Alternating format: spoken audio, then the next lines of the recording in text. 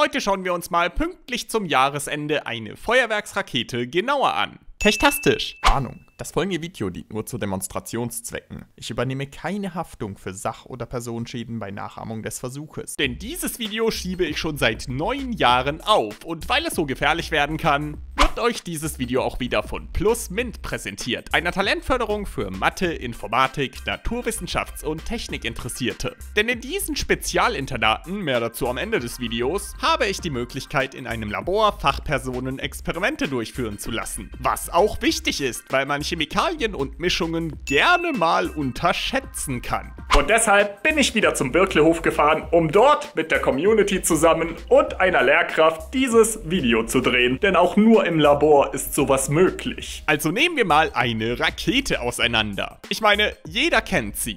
Die Feuerwerksrakete. Ein kleines pyrotechnisches Wunder der Wissenschaft, welches unglaublich schön anzusehen ist. Und wie simpel sie dann doch am Ende aufgebaut sind, hat mich dann ebenfalls fasziniert. Ich meine, wie funktioniert eine solche Rakete überhaupt? Die brennende Zündschnur setzt die Treibladung in Brand. Der dabei entstehende Druck entweicht über die Düse, was die Rakete zum Aufsteigen bringt. Dort wird dann die Trennladung in Brand gesetzt, welche die Zerlegerladung in Brand setzt. Dieses sorgt dafür, dass die Effektladung zum einen entzündet wird und zum anderen in einem großen Radius im Himmel verteilt wird. Also werden da wirklich einfach nur die richtigen Pulver, Granulate und Pasten zusammengesetzt? Das halten wir mal für die Kamera genauer fest. Und vor allem auch, was die Pulver können. Denn wenn es hier jetzt gefilmt wird, müsst ihr es nicht mehr machen. Auf gar keinen Fall nachmachen.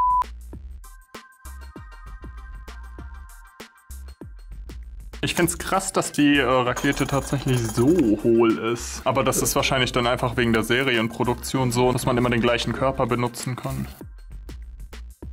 Das ist ja praktisch nichts. Du würdest es jetzt auch gar nicht mehr von einem Böller unterscheiden können.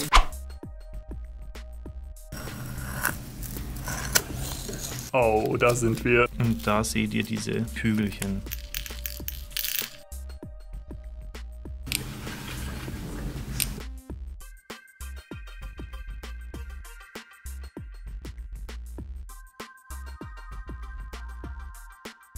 Die Zündschnur reicht ebenfalls sehr weit rein. Das Orange, was wir jetzt hier sehen, ist tatsächlich nur eine Düse, die das Gas so leiten soll, dass die Rakete wirklich abheben kann. Also im Prinzip das hier. Treibladung, Zerlegerladung, das ist die sogenannte Effektladung. Das sind einfach verschiedene Metallsalze, die für verschiedene Farben zuständig sind, aufgebracht. Die werden dann in die Luft geschossen und brennen ab in den Farben. Und das zünden wir jetzt alles der Reihe nach an. Als erstes haben wir ja die Zündschnur.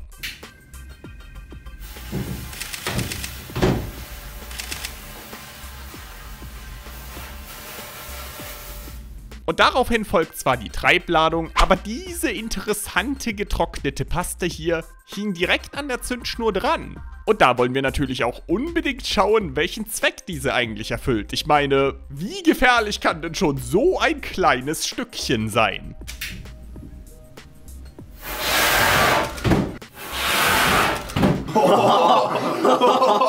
Das war geil. Da war nicht viel drin. Da war gar nichts drin.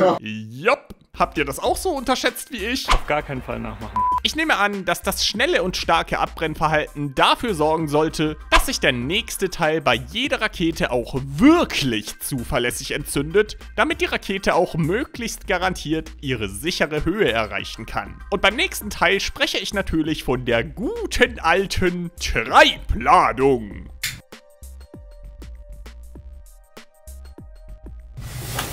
Interesting.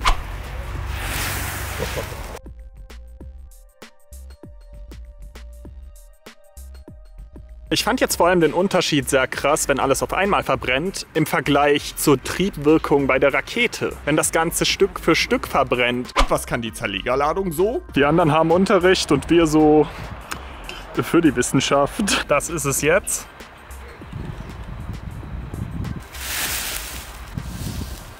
Ah, es ging sogar. Fehlte also nur noch die Effektladung. Und was diese hinterlassen hatte, hat mich auch wirklich überrascht. Beide bereit? Ich äh, stelle mich darauf ein, eine Jeans zu verlieren.